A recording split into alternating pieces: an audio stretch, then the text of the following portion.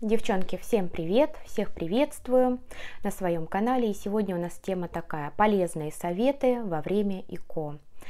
А, то есть ни для кого не секрет, что сейчас процедура ИКО для многих очень актуальна, очень многие ее делают. Сейчас она абсолютно никого не пугает как молодые пары, так и пары постарше. А, процедура такая, что это уже стало нормой нашей жизни, можно, можно так сказать.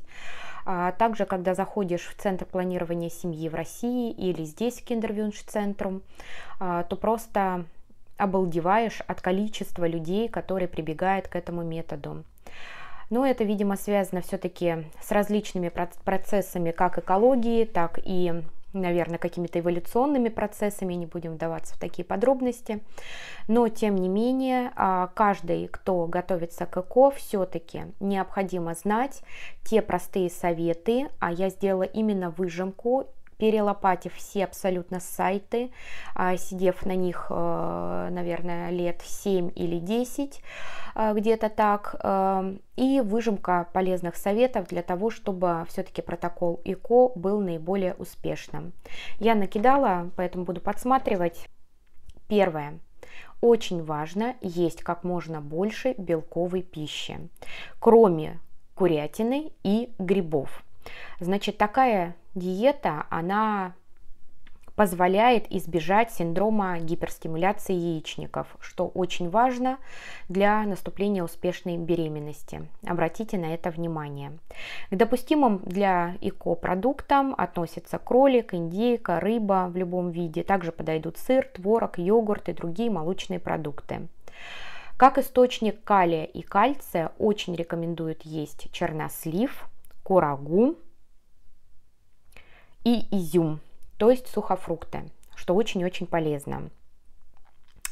А, также во время процедуры ЭКО рекомендуется полностью избежать продуктов, которые могут привести к метеоризму и вздутию живота. Очень аккуратно. Не рекомендуются такие продукты, которые сильно богаты углеводами. Это картофель и мучные изделия, в особенности сладкие.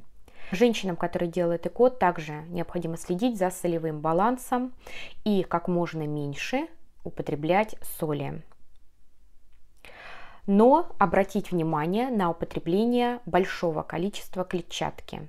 Второе очень и очень важное – это водный режим. А, значит, воды нужно пить достаточное количество, это 2 или 3 литра в зависимости от вашего веса. Рассчитывайте так где-то 25-35 миллилитров на 1 килограмм веса. 2, 3 или 4 литра. Это очень важно. Так, напитки, что касается таких как кола, что касается напитков, которые э, фииносодержащие, все это исключаем. По поводу каких-либо витаминов. А, очень с этим аккуратно, потому что а, вмешательство в этот процесс любых витаминизированных продуктов могут повредить для наступления беременности. Но держите под контролем тот момент, если вдруг у вас все-таки проблемы, а, первое, щитовидная железа, второе, клетки-киллеры, третье, это густота крови, четвертое, это гомоцистеин, вот эти основные моменты, которые больше всего влияют на вынашиваемость беременности и реже всего изучаются, к сожалению, медиками, держите под контролем. То есть либо проверьте эти моменты заранее, э, либо как только вы забеременели, сразу сдавайте анализы на эти все нюансы. Гомоцистеин сдали. Если высокий гомоцистеин, сразу фимибион айнс, как я уже говорила, то есть все, что содержит метилфолат. Не просто фолиевую кислоту желтые таблетки, а метилфолат. Я лично нашла в двух продуктах два продукта от iHerbal э, фирмы и Фимибион Айнц. Это не реклама, у меня даже нет никаких скидок от этих э, фирм, препаратов, э, просто я искала и нашла только в этих двух продуктах. Далее, если густая кровь, обязательно обратите внимание на то, что нужно ли вам применять только аспирин, может быть кардиомагнил, может быть какой-то другой препарат, а, либо нужно уже колоть кликсан или фроксипарин. А, если у вас с щитовидкой проблемы, то есть, возможно, повышенная функция или пониженная, нужно либо эльтироксин, либо другие препараты, либо повышать, либо снижать. А, также, если есть проблемы с клетками-киллерами, тоже нужно знать, то есть либо применять преднизолон, либо метипред, а, либо нужно капельницы с иммуноглобулином, либо интралипидом и так далее. То есть вы должны знать и держать под контролем эти вещи. Их меньше всего изучают, поэтому я а, их прям по пальцам назвала. И чаще всего влияют на невынашиваемость. Так, далее. А для того, чтобы наращивать эндометрий, для того, чтобы плод как можно плотнее, лучше прикрепился, нужно пить тыквенный сок. Можно делать и давить самим, можно покупать в баночках детский тыквенный сок, без разницы. А также в протоколе вам могут назначить э, препараты для улучшения э, наращивания эндометрия, а, либо вы можете самостоятельно также заваривать листья малины. Листья малины тоже очень хорошо для того, чтобы эндометрий рос. Я, в принципе, и в протоколе протоколе и в циклах, которые планиров, в которых планировала беременность, листья малины тоже заваривала. Также очень важно есть морепродукты, они очень-очень полезны. Так, далее очень хороший совет, а, но а, посоветуйтесь с врачом, либо уточните эту информацию. Мне тоже а, подсказывали эту информацию. Перед подсадкой за один день можно принять пироксикам 10 мг. Он расслабляет матку. Мне делали это именно в центре.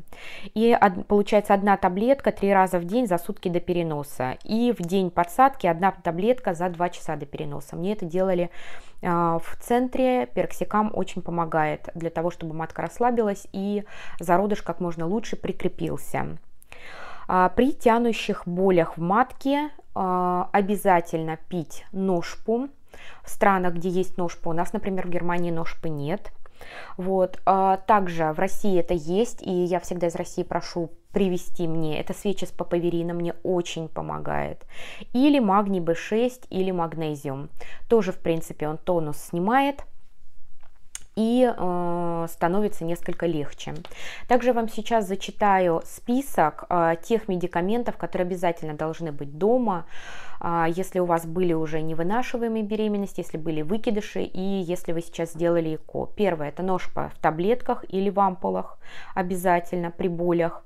Второе это папаверин в свечках. Далее прогестерон либо масляный раствор 2,5% по, одной, по 1 миллиграмму в ампулах. Дицинон кровоостанавливающий, соответственно, в ампулах и шприцы. Также трениксам 250 миллиграмм это в таблетках. Трониксам, между прочим, принимала я, а, когда а, кровила вместе с этой беременностью с дочкой.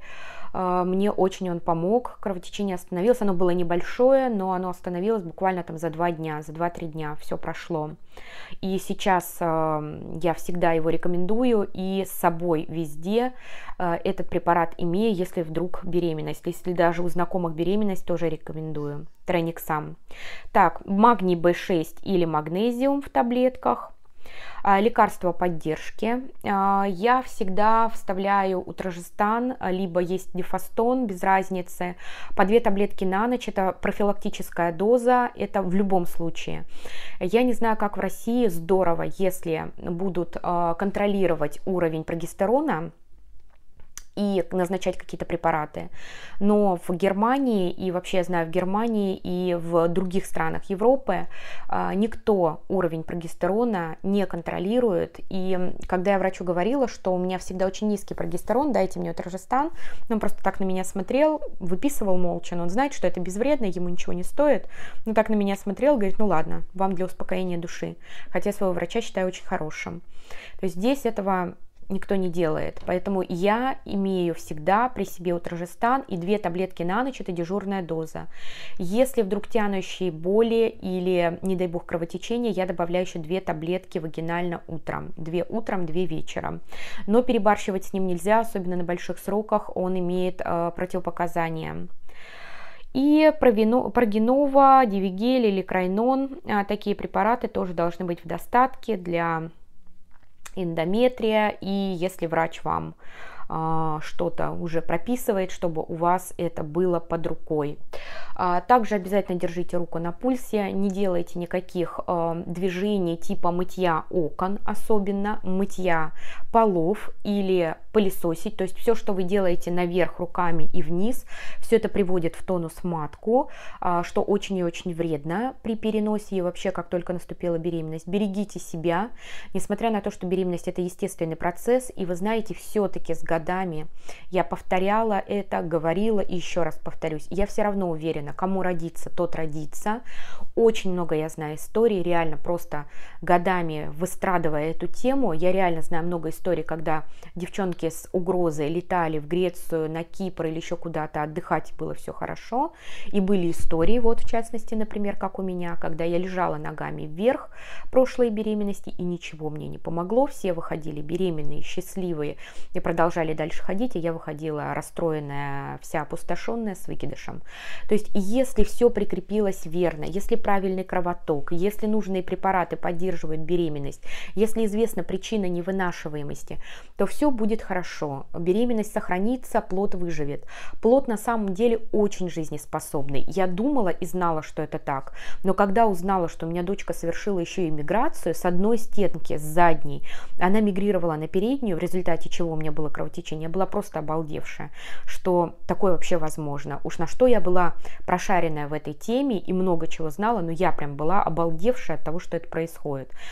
Поэтому верьте в своих малышей, верьте, они обязательно родятся, обязательно вас порадуют. И все равно с годами, вы знаете, вот с одной девчонкой не общалась, когда-то планировали с другой. Смотрю, везде у всех в профиле появились детки. И сейчас еще одной девочки в Германии, она тоже мыкалась-мыкалась своей проблемой, там и клетки-киллеры, и гемостаз, и мутации гемостаза, и много всего. Смотрю, двойня, думаю, блин, слава богу, и она тоже родила. То есть все равно девчонки доходят до какого-то процесса, доходят до какого-то результата, понимают, что у них не так, а, устраняют эту причину, что не так, и в результате этого все равно вынашивают детей, все равно находят причины, ну и все равно Боженька нас видит, я думаю, что потом он уже просто нам дает детей тогда, когда время этому действительно наступает. Поэтому желаю вам всем всего самого хорошего, чтобы все у вас прикрепилось, получилось, беременности доходили, доходили обязательно в срок. Загадывайте своих детей, как я уже и говорила в прошлом видео. А я с вами тогда прощаюсь. Всего вам доброго. Пока-пока-пока. До новых встреч. Подписывайтесь на мой канал, оставляйте комментарии, советуйте канал другим, распространяйте в соцсетях, за что я вам буду очень благодарна. Ставьте пальчики вверх. До новых встреч. Пока-пока.